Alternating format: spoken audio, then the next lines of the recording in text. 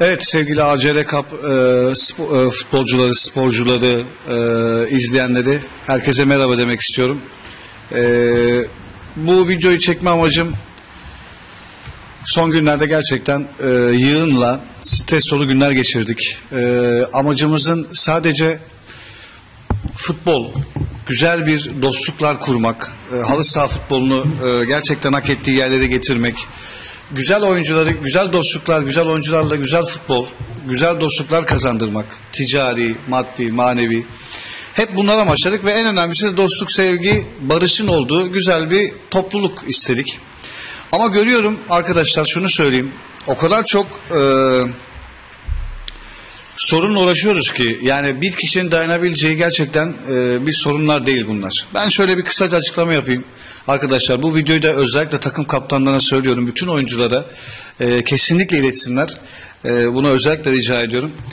E, birincisi Pazar günü bir toplantı yapacağız saat 8.30-9 gibi e, halı sahamızda. Bütün katılım zaten herkesin gelmesi kesinlikle şart. Neden derseniz çünkü zaten herkesle konuştum, herkes okey verdi. Bütün takım kaptanlarıyla beraber bir oyuncu veya iki oyuncu hiç fark etmez. E, orada gereken bazı kararlar alınacak ve o kararlardan sonra da zaten hiç olmazsa önümüzde bir ayna gibi yani biz de yolumuzu bilelim, gelen insanlar da yolunu bilsin. Ne biz strese girelim ne karşıdaki insanlar stres sokalım. Şimdi birkaç konuyu değinmek istiyorum. Vaktim vaktimiz sınırlı. Az sonra programa geçeceğiz zaten. Şimdi birincisi arkadaşlar bu halı sahanın neticede siz bu halı sahada e, top oynuyorsunuz ve bir normal bir hazırlık sistemi değil. Turnuva resmi bir sistem arkadaşlar. Yani resmi oynanan, resmi futbolda, resmi neler varsa ödüllü, kupalı, resmi bir turnuva. Şimdi bazı arkadaşlarımız isim vermeden konuşacağım. Bu turnuvada öyle şeyler istiyor ki bizden. Yani bizim artık akıl hayalimize gelmeyecek şeyler e, geliyor. Yani mesela şöyle söyleyelim arkadaşlar. Şimdi biz lisanslı oyuncu getir lisanslı oyunculara izin vermedik. Niye vermedik? Çünkü bir tane lisanslı oyuncu dedik ki iki tane olmasın. Neticede bir tane olursa dengeler şey olmaz, sarsılmaz. Biliyorum birçok turnuvalarda hani neticede lisanslı oyuncu hiç, e, hiç kimse bir şey demiyor. Ama biz dedik ki bizim bir özelliğimiz olsun. Lisanslı oyuncu iki taneden aşağı oynatmayalım. Ya da bir tane özür dilerim bir tane aktif lisanslı olan. Niye? E, diğer oyuncular futbol yap yani diğer e, arkadaşlarımız spor yapmaya geliyor. Yani çok büyük bir güç farkı olmasın.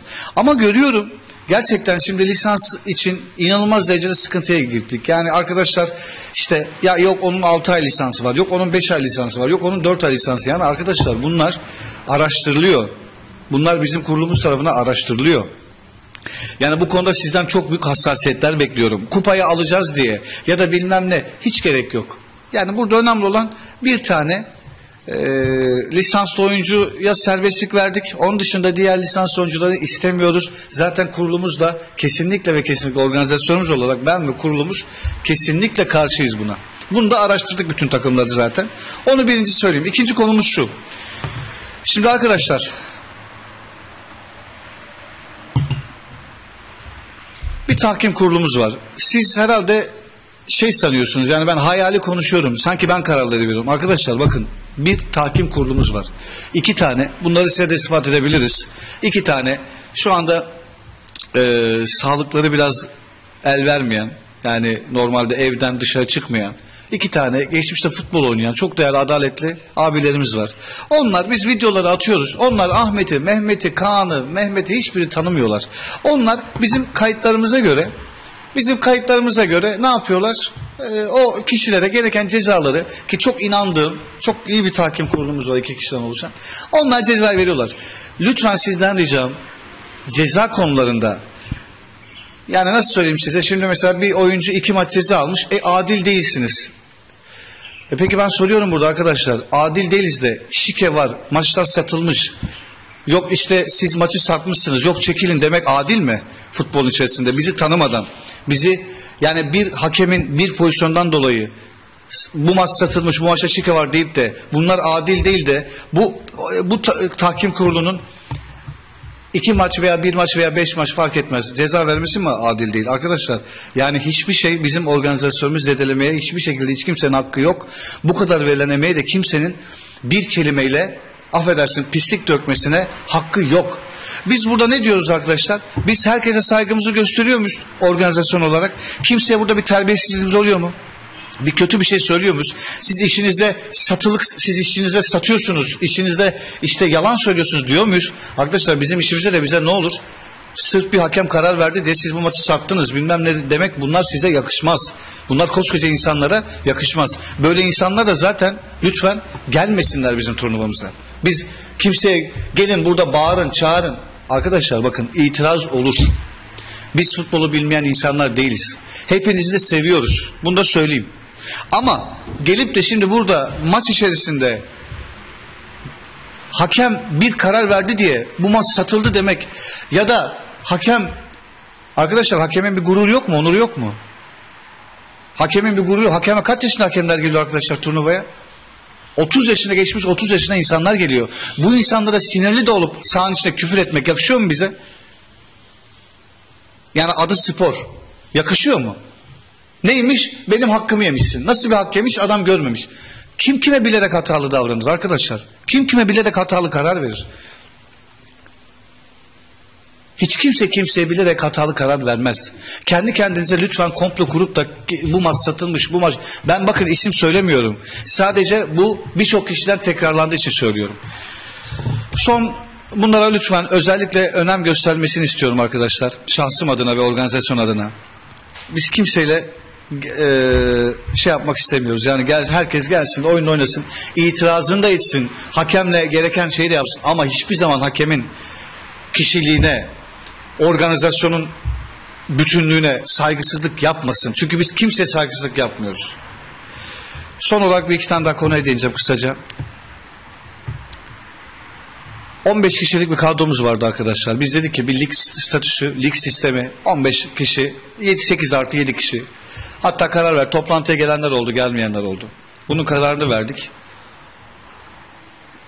Ama bakıyorum bazı takımlar ısrarla puanları silinmesini yani puanları silineceğini söylememize rağmen ısrarla yok biz o oyuncuyu getirelim. Yok bizim işte şöyle bir kavgamız oldu. Yok biz adamlar bu beni bu bizi ilgilendirmiyor arkadaşlar. Biz sizden 8 kişi istemedik. Biz dedik ki kırmızı kart görürsünüz, ceza alırsınız, o olur bu olur. 15 kişilik bir liste istedik. E benim Ahmet Ağam beni şey yapmıyor. Mehmet Ağam bana bunu ya bunlar bizi ilgilendirmez. Bizi ilgilendiren tek şey ne? 15 kişi kadronun oluşumu. Başka bir şey. E şimdi adam 17 kişiyle geliyor. Atıyorum 17, 18 kişi. Ondan sonra deniyor ki e puanımız silecek. Biz bunu uyarıyoruz. Sonra ertesi gün bizi tehdit edermiş gibi sportif anlamda söylüyorum. E, e bu puan silinirse biz gelmeyiz. Arkadaşlar size kim gelin diyor zaten. Yani siz her ufak bir olayda biz çekiliriz gelmeyiz. Biz bilmem ne yaparız. E, yani bu şekilde nasıl biz yani o zaman biz şöyle mi yapalım arkadaşlar? Buyurun bütün futbolcular efendim kararları da siz verin. Futbolu da siz oynayın. Hakemi de siz çağırın. 17 kişi siz getirin. İsterseniz 50 kişi getirin.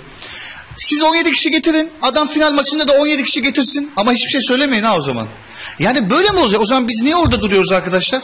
Biz niye orada duruyoruz? Yani biz size ceza verdiğimiz zaman çok mu istiyoruz ceza vermek için? Size çok mu istiyoruz yani? Ben Ahmet'e ceza vereyim. Canım sıkıldı. Yani o yüzden belli kurallar var. Bakın sportif tehdit hiçbir zaman hiçbir şey yaramaz. Oynamak istemiyorsan zaten oynama. Oynamak istemiyorsan zaten oynama. Kimse kimseyi zorlayamaz. Arkadaşlar ben kimseyi inanın zorlamıyorum. Benim maddi manevi şeyim olmuş. Benim kaybım hiç benim için önemli değil. Ben zaten maddi kaybım var benim yani kendi işimden dolayısıyla. Ben sırf bir yere bir adım attık, söz verdik. Sözümüzde arkasında aslanlar gibi duralım diye ben bu şey sitesi çekiyorum. Ama niye? Hep size güzel şeyler kazandırmak için. Orada anılarınız oluyor. Orada güzel şeyler oluyor. Ee, adaletten hiçbir zaman şaşmayacağız arkadaşlar. Hiç kimse de şaşmasın. Kimse de bu saatten sonra onu da söyleyeyim. Benimle lütfen sağ içinde de sağ dışında da. Merhaba desin. Ben sizin gibi bir insanım. Ama bana lütfen kimse özellikle söylüyorum. Kimse merhabasını versin. Kimse benimle kaptanlar dışında şey olmasın çünkü ben kimseyle diyalog kurmak zorunda değilim arkadaşlar. Yani birisi gelip bana abi şu oyuncu oynatalım. Bir tanesi geliyor bana diyor ki abi işte ben iki maç ceza yedim ama bu maçta gizli oynayabilir miyim? Ya bunlar size yakışıyor mu arkadaşlar ya? Bunlar için nasıl bir organizasyon sahibine siz gelip de böyle laflar söylersiniz ya? Takım kaptanlarınız nerede arkadaşlar? O yüzden tekrardan söylüyorum e, bu konularda gerçekten biz eğer son bir şey söyleyeceğim biz eğer adalete biz eğer adil davranmazsak yarın bir gün başka firmalar gibi başka şeyler gibi yok olmaya mahkum kalırız. Bizim bu organizasyonumuzda sizin gibi değerli insanlar olduğundan dolayı gurur duyuyoruz. Ama tekrar söylüyorum bizim organizasyonumu bozmak isteyen bir hakemin yanlış kararından veya doğru kararından dolayı hatasından dolayı arkadaşlar Allah bile dikkat edin bir, bir kulunu bilerek isteyerek hatasından dolayı affetmezlik yapmaz. Bunu siz de biliyorsunuz ama hiç kimse haşa Allah'tan öte değildir. Siz yapılan bir hatayı gelip de maç satmış Ahmet Mehmet olmuş diye yargılayamazsınız arkadaşlar. Hakemi olabildiğince yapar yapmaz. Biz de iyi hakemler bulmaya çalışıyoruz. Ben de şunu mu yapayım o zaman? Sizler futbolda iyi değilsiniz daha iyi futbolcular olsun mu diyeyim yani. Yani o yüzden bunlara önem gösterin. Başka da söyleyeceğimiz bir konu yok. Özellikle bütün futbolcular bu videonun gitmesini istiyorum. Yoksa gerçekten eee, hepimiz üzüleceğiz. Yani turnuva devam etmese yani ben mi sadece ben mi üzüleceğim yani. Herkes bakın ne diyor bana. Ne güzel diyor röportajlar yapıyoruz. E, e, her gün diyorlar işte her hafta farklı takımlarla oynuyoruz. İşte spikerle anlatılıyor. Allah razı olsun diyorlar. Yani ben üzülürsem bu insanlar için üzülürüm turnuva durursa. Ama bu şekilde devam ederse arkadaşlar kendi kendimiz ettik kendimiz bulduk olacak. Çünkü olacağız çünkü bir kişiyle ben benim bile dayanacak gücüm kalmıyor. O yüzden sizden istirhamım eee, inşallah bu saatten sonra söylediklerimiz inşallah duyulmuştur. İnşallah iletilmiştir. Eee, herkese sevgiler saygılar sunuyorum. Herkesi seviyorum. Herkesle dost kalalım. Allah'a emanet olun arkadaşlar. Hani derler ya teklif etme velisiye dost kalalım. Velisiye hesabı. Sizden hepinizi seviyorum.